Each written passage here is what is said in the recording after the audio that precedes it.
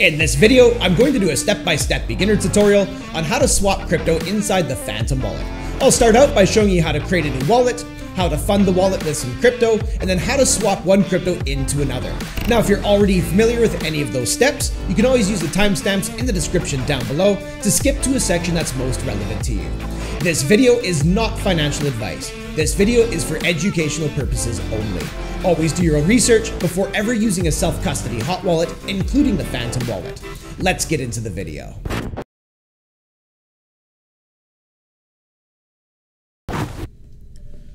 First things first, if you don't already have the Phantom wallet, we'll need to download that from phantom.app. And I'll leave a link to this site in the description down below for anyone that might find that helpful. In this tutorial, I'm using the Chrome browser, so I'm going to download the wallet for Chrome by clicking right here. Then on this page, I'm going to come right up here and click Add to Chrome. And Add Extension.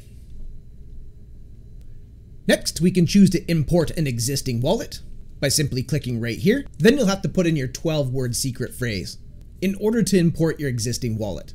If you're creating a new wallet, we'll simply click right here. Next, come up with a really good password. This password is simply used to unlock the wallet on this specific device that you're using. This is not your seed phrase and you can't use this password to import your wallet to other devices. We'll be dealing with that on the next step. So simply come up with a good password, read through the terms of service, check this box here, then click on continue. On this step here, you'll have to write down your secret recovery phrase. And you can think of this like a master key to your wallet. You can use this secret recovery phrase to recover your wallet, as well as import your wallet to other devices. Just make sure that no one else gets their hands on this recovery phrase. If they do, they're going to have access to your wallet and all the funds inside it. Some folks will even get these recovery phrases ingrained on a metal card. That way, if there's ever a fire, the recovery phrase doesn't get destroyed. So however you choose to back up this recovery phrase, just keep it somewhere safe and don't let anybody get their hands on it. To reveal your secret recovery phrase, just hover your mouse over top of that eye icon. Once you're done writing it down, check this box right here, and then click on continue. And you're all done. You'll have created a new Phantom wallet. So we'll go ahead and click right here on get started. So what we'll do from here is we'll come up, we'll pin the wallet to our browser. So come up to this little puzzle piece, give it a click. Then we'll click on the pin icon next to Phantom. Now we've pinned it to our browser. Now we can click on the Phantom wallet icon. Wallet's going to drop down and we can put in the password that we came up with when creating the wallet.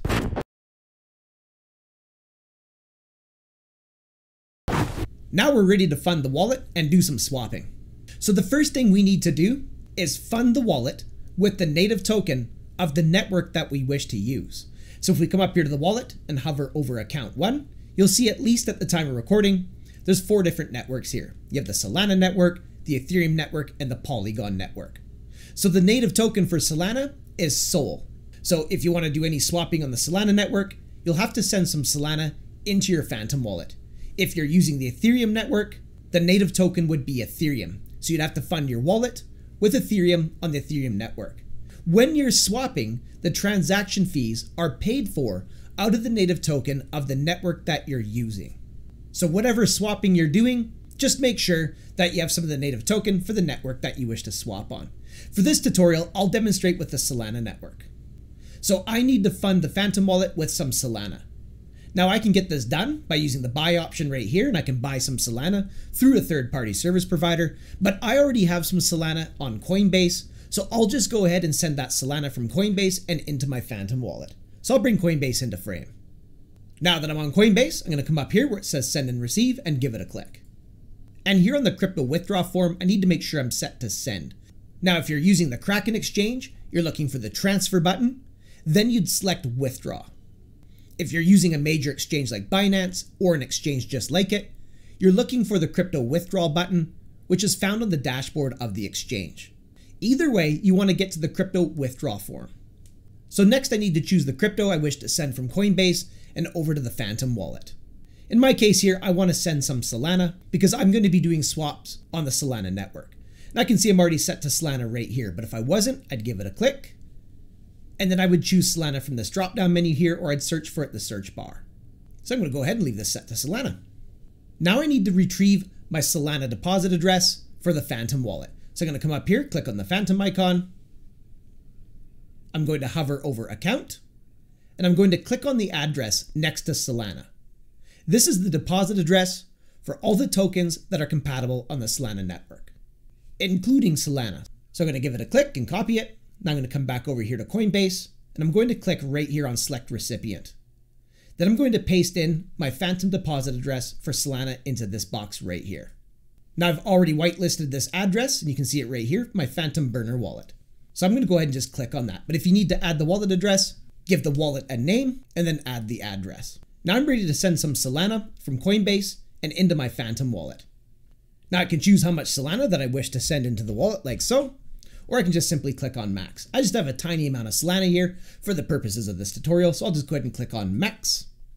And now I'm ready to send this from Coinbase and into my Phantom wallet. So I'm going to come down here, click on preview send. I'm going to select self-custody wallet, review the details. Looks good to me, so I'm going to come down here and click on send. And now that Solana is on its way from Coinbase and into my Phantom wallet. So I'm just going to go ahead and click here on done.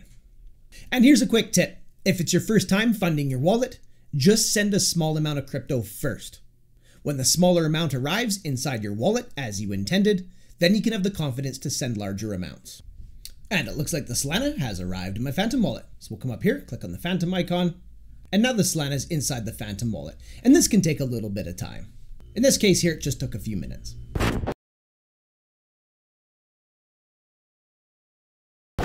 Now I'm ready to do some swapping on the Solana network. So to get this done, we'll come up here and click on the Phantom icon. And the wallet's going to drop down. And right here, you'll see the balances of all the crypto that you store inside your Phantom wallet. In my case here, all I have is that small amount of Solana that I just sent in from Coinbase. To get to the swapping, just click right here on swap. Next, choose the crypto that you wish to swap by clicking right here. Then click on the crypto that you wish to swap, and alternatively, you can search for it in the search bar up above. I just have this Solana, so I'll go ahead and click on that. Now I'm set up to swap my Solana. So next, choose the crypto that you wish to swap into by clicking right here. Then you can select a crypto that you want to swap into from this list right here. And alternatively, you can search for it in the search bar up above. In my case, I'm swapping some Solana on the Solana network, so I want to make sure that this is set to Solana. If you're using the Ethereum network, you'd make sure to set this to Ethereum, and of course, if you're using the Polygon network, set it to Polygon. And remember, you'll need some of the network's native token to cover the transaction fee for swapping. So if you're swapping on Polygon, you're going to need some Matic inside your Phantom wallet. If you're swapping on Ethereum, you'll need some Ethereum inside your Phantom wallet. Once you find the crypto you wish to swap into, just simply click on it. And once again, you can search for one. I'll go ahead and do USDT for this first demonstration. Now I can see a result right here. And you'll notice that the Solana logo is located bottom right hand side of the Tether logo, indicating that this is Tether on the Solana network. So I'm going to go ahead and give that a click. Now I'm set up to swap some Solana into Tether. So next, choose how much you wish to swap. I'll go ahead and do 0.2 Solana. Now the Phantom wallet is estimating approximately how much Tether I'll be receiving for 0.2 Solana, and you'll also be able to see the provider right down here. The Phantom wallet is like a swap aggregator, so it's going to scan multiple different swaps, and it's going to fetch you the best deal for your swap at the time of making your swap. So in my case here, you can see the providers that the Phantom wallet's going to use for my particular swap. Looks fine to me, so I'm going to come down here and click on Review Order. Next, you can review the details of your swap. So you can see there's going to be a small fee right here, which is only going to be about one cent worth of Solana. I can see the provider here, the price impact for this particular swap is going to be 0%. That's because Solana and Tether have a pile of liquidity. For slippage, you can see right here that this is at 0.5. So there could be a 0.5% variance in this swap. The more liquidity in the token that you're swapping into, the less slippage you'll likely incur. And you'll see right here that this quote will also include a 0.85% phantom fee. And that's for the convenience of the phantom wallet retrieving you the best deal at the time of making your swap. Of course, if you want to save on that fee, you can see the provider right here, and you can always navigate directly to that provider if you wish. Then just do that swap directly through that provider. In my case here, this is such a small swap, so I don't mind, and I'm going to come down here and click on swap. Now I'm swapping some Solana into Tether on the Solana network. Just like that, it's done. So we'll come down here and click on close. Now we'll come down here, click on this dollar sign, And what you can see here is that the Phantom wallet automatically added Tether to the wallet and is now displaying my Tether balance for that swap. Now, if I want to swap that Tether into something else, I can click on Tether, I can click on Swap. Now we're back to the swap form.